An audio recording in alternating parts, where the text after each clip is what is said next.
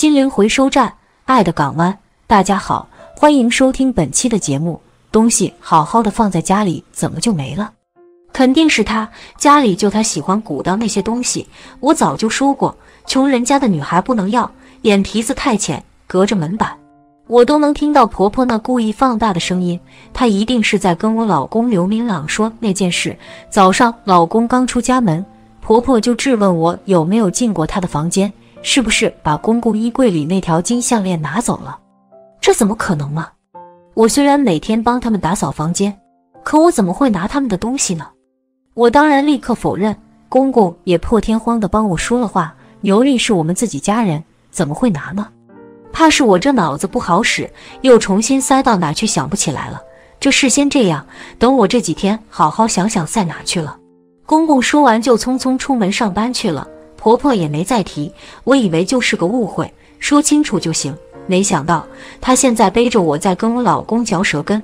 平时婆婆就经常挑拨我们夫妻关系，这次还这么明目张胆的，我当时就气不过，用手里的拖把头狠狠地砸了一下门。妈，明朗，有话别躲房间说，出来摊开了说。婆婆滑地一下从里拉开房门，气势汹汹地走出来，手指差点戳到我的脸上来。你还好意思摊开来说？果然村里来的就是不知道羞耻。我私下跟明朗说，那是给你留着面呢。我不用你留面，东西不是我拿的，我肯定不会认。你们之前怎么为难我都可以忍，但偷东西这个锅我不背。我还有儿子呢，说出去我这当妈的脸往哪搁？不行，咱就报警，让警察来查到底是怎么回事儿。我一反常态的强硬。毕竟，这关乎到我的声誉和在儿子心中的形象。话刚说完，婆婆就一把薅住我的头发，巴掌劈头盖脸打下来。你还敢报警？别忘了，你现在的好日子都是我们家给的。说你几句就顶嘴，我没料到婆婆会突然动手，头皮瞬间被她扯得生疼，脸上也挨了几个巴掌。她这是憋着气故意找茬呢？忍了婆婆这么多年，这一刻我突然不想忍了，刚好趁着她先动手。我也狠狠收拾他一次，把这么多年从他那受的委屈还给他。想到这儿，我也抬手开始还击。客厅瞬间变成两个女人的战场。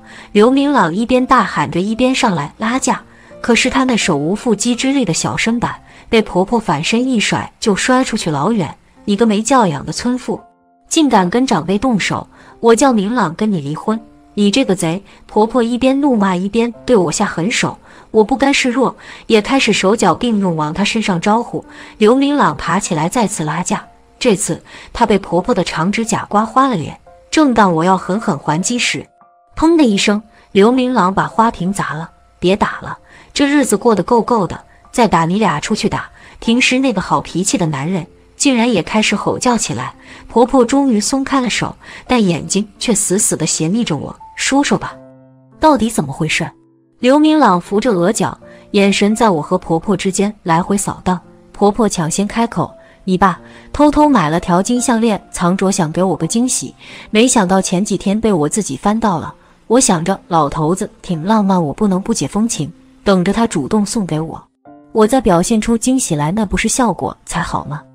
可这么几天他也没动静。今早我没忍住，去翻了翻衣柜，就发现那条项链不见了。”问了你爸也说是给我买的，但项链就是不见了。那你怎么一口咬定是牛丽拿的？刘明朗追问他妈，他不是一直在鼓捣那些饰品吗？还开网店，他不是趁着打扫时把我的项链拿去给卖了吧？小门小户出来的，说不准哦。婆婆又在那翻白眼。妈，牛丽她嫁进来我们家九年，给你生了大孙子，天天忙里忙外，你怎么还这样说他？你这样打他的脸。你儿子脸上也没光不是？刘明朗每次都这样，书呆子跟泼妇讲道理，哪里能讲得通呢？但听到他一如既往的维护我，我心里好过了一点。每次被婆婆逼得受不了时，我就会想想这个大我十岁的男人对我的好。十年前，二十岁的我刚从农村出来打工，家里穷，没见过什么世面，在网上跟刘明朗网恋奔现后，就一直跟着他。虽然他比我大十岁，可他人温柔细心，话不多，却对我特别疼爱。在一起半年后，我就怀了孩子。刘明朗欣喜若狂，带我回家见父母。可他妈一知道我是农村出来的，立刻就不高兴起来。在他眼里，我这个农村来的女孩是配不上他高贵的城里儿子的。我怀了孩子，就是想凭着肚子母凭子贵，一步登天嫁入他们家。可是天地良心，我从没这样想过。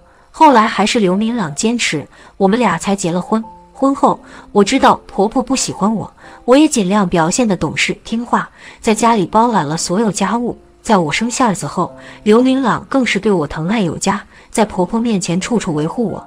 这次也一样，刘明朗开始放大招。妈，如果你实在容不下牛力，那我们就搬出去单过。这次不管你同不同意，我们都要搬出去。听到老公如此维护我，我感动得热泪盈眶。其实婚后我们就要出去单过的。可是公婆都不同意，他们虽不喜欢我，但对大孙子的疼爱那是实打实的。搬出去就不能天天看着他们的宝贝了。况且家里房子大，我们住楼上，公婆住楼下。婆婆虽然对我多有不满，可公公是文化人，加上刘明朗的维护，一家人表面的和谐还是能基本维持的。和婆婆彻底决裂，是有次她背地里挑拨我和刘明朗，被我听到。我抱着四岁的儿子扭头就要走，婆婆追上来抢孩子，一不小心就从楼梯滚了下去。那次她伤到了腰，我也觉得自己或多或少有点责任，所以后来一直留下来照顾她。没想到今天她直接就往我头上栽赃。婆婆一听刘明朗要搬出去，立刻软了下来。我也没说就是她拿的。只是这东西好好的在家里，怎么就不见了吗？他不是开了个卖饰品的网店吗？会不会他发货时拿错了？有没有这种可能？我是说，看着刘明朗那快要喷火的眼神，婆婆的话说不下去了。我开店还不是因为你们不让我出去上班？我开店卖的都是自己设计的东西，不稀罕你那金的银的。我适时抛出自己的委屈，这次我们说什么也要搬出去，孩子大了。如果我俩天天这样吵，也不利于孩子的成长。你的项链还是好好问问公公吧。说完，我就拉着刘明朗上楼处理伤口。老婆，对不起，让你受苦了。这次我们一定搬出去，现在就收拾东西。刘明朗歉疚地摸着我的头，搬，肯定要搬。但是搬之前，我得跟你说件事。我决定把心中这个憋了很久的秘密告诉刘明朗。咱爸，怕是在外面有情况。作为一个儿媳妇，这话我实在不好开口。不会吧？我爸可是堂堂文化人，怎么可能？果然，刘明朗一点都不相信，或者说不敢相信。我没上班，婆婆又伤了腰，家里的家务基本都是我操持。从半年前开始，我不经意在公公换下来的衣服上发现了蛛丝马迹。第一次是一个不太明显的口红印，有次是几根卷曲的长头发，最过分的一次，在他裤兜里发现了一个安全套。我犹豫了很久，要不要跟刘明朗说这事。可一想到我在这个家里的尴尬境地，本着多一事不如少一事，我硬是闭紧了嘴巴。我在想，这条项链会不会是爸买给别人的？但没来得及送出去就被妈发现了。老头以为他不知道，后来时机到了就给送出去了。老太太左等右等没收到礼物，所以有了今天这出。而我稀里糊涂帮你爸顶了这次雷。我慢慢分析给刘明朗听，我说的这些话对于刘明朗来说信息量太大，以至于他呆呆的愣在原地没搭我的腔。可是想通这一切的我，已经在脑子里有了个计划。睡觉之前，刘明朗终于从他爸的事情里缓了过来。这个比我大十岁的书呆子把我搂在怀里，老婆。你就说怎么办吧，我都听你的。这次我妈确实太过分了，咱们一定要搬出去。只是该怎么办？这个简单，我附在他耳边细细跟他说了计划，就知道我老婆最聪明。听完我的计划，书呆子抱着我又亲又啃。之后他去找公公去了。第二天早餐时，公公宣布了一件事：明朗，你带着老婆孩子搬去另一套房子，刚好年前租客退了租，现在空着，孩子大了。我们得给他营造一个良好的成长氛围，任何人不得有异议。说完，他的眼睛直直地看向婆婆，把她要发飙的话硬是给问了下去。另外，家里找个保姆来照顾你。那项链我找到了，被我拿去办公室去了。昨天着急忙慌回来又忘了拿。今晚给你拿回来。你冤枉了牛丽，要给孩子道歉。公公继续脸不红气不喘的扯瞎话。项链哪是找到了？那是我让刘明朗给他出的主意，重新买条一模一样的。不过这有什么关系？目的达到就行了。不错，我昨晚让刘明朗去找公公，把话挑开了。我们只是要搬出这个家，至于公公以后爱怎么玩，那是他的事。还有眼前这件事，重新买条一模一样的项链也能遮掩过去。他的事我们不干涉，所以我们的事也希望他能好好定夺。听完公公的话，婆婆自知理亏，但还是当着所有人的面给我道了歉。丽丽，你别怪我，我这人你知道，心直口快，但没有坏心眼，都是一家人，以后别跟我见外。我也大方回应，都是一家人。说什么怪不怪的，误会解开就好了。以后我们不在这边，你得注意着身体。在刘明朗和公公面前，我一直是大方得体的好媳妇。只是一想到婆婆以后可能要面临的情况，我心里有点五味杂陈。她以后怕是要忙着去对付另外一个女人了。我公公那人整天喜欢端着个架子，明明他也讨厌极了我婆婆的蛮横无理，可因为没损害他的利益。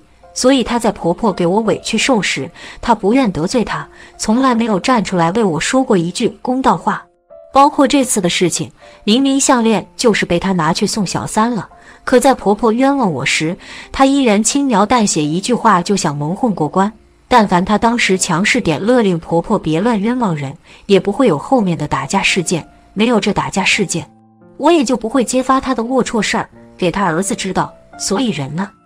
都是自私的，在涉及到自身利益时，我们首先想到的都是自己，也难怪不是一家人不进一家门吗。好了，今天的故事就到这里了。如果您有喜欢的故事，记得在视频下方留言，我们会尽力满足您的需求。期待下次与您的分享。